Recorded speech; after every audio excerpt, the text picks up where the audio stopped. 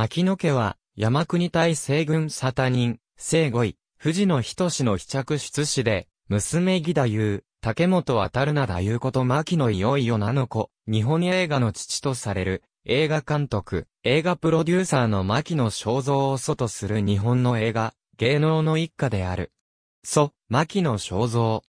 牧野正蔵こと、牧野正蔵の父、藤野仁は、もともとは、漢方医であったが、京都、時代祭で知られる、勤王派の兵隊、山国隊の第一陣である西軍を率い、1868年、戊辰戦争を戦った。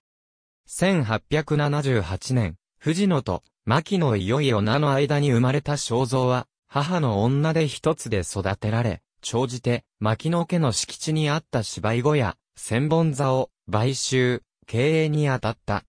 1908年、千本座で活動写真の興行を行っていた横田商会の横田栄之助の依頼で始めたのが、肖像の、つまりは、牧野家の映画との関わりの最初であった。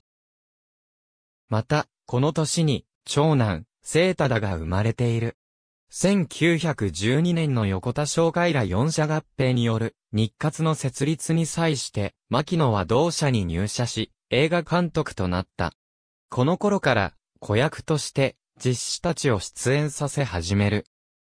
1919年7月10日、帝商会を設立して独立、横田の抵抗に遭い、一旦日活に吸収されるが、1921年6月、自宅に、牧野商会、当時院に撮影賞及び牧野教育映画制作賞、設立、それが、後の1923年の牧野映画制作所、1925年、花園天樹が、岡野牧野プロダクションへと発展していく。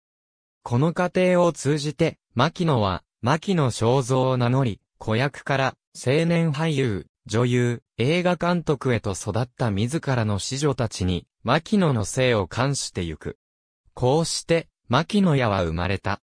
1990年代、正蔵の孫、牧野正宏の長男、牧野正幸が、沖縄アクターズスクールから、安室奈美恵、スピードラを、メジャーシーンに送り込んだ。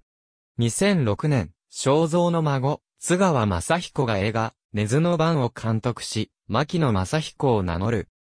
東神境内にある、牧野正蔵の銅像賞さんが経営した、牧野プロダクションでは、牧野青年派というアイドル的くくりで、若手スターを売り出したことがあり、その際に、正蔵が彼らに、牧野の姓を冠したが、どの人物も、牧野屋との血縁、婚姻、あるいは、養子の関係もない。このうち、牧野梅太郎こと、中村梅太郎は、牧野青年派売り出し中の1928年4月に退社し、田川2が二代目牧野梅太郎となった。